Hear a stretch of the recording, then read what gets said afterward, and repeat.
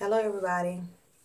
So today on Your Nutrition 90 Seconds, I have a special guest with me, Mariah Gary.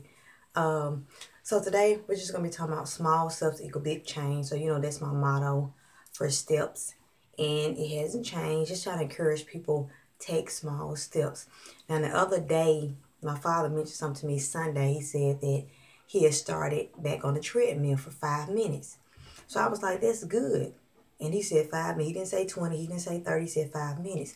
So that may seem like five minutes, that's nothing. But you have to understand small steps. So that's an example of what we're going to talk, just talk about briefly.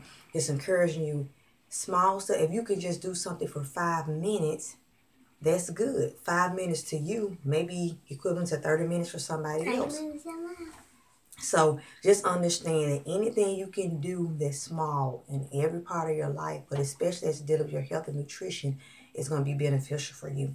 So I just want to encourage you to keep going. Uh, don't stop, even if you fall, even if you get off track. Just get back up and uh, you know, keep going. Small steps. Just make a small change each week in every part of your life.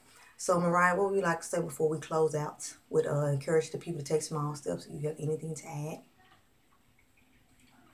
Just say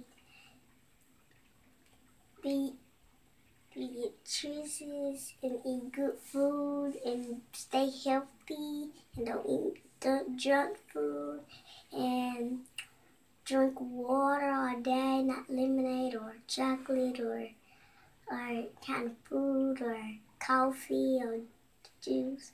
That's that's sweet like sweet food like Skittles and.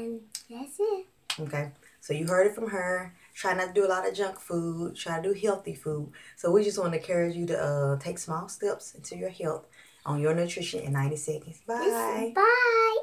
The end.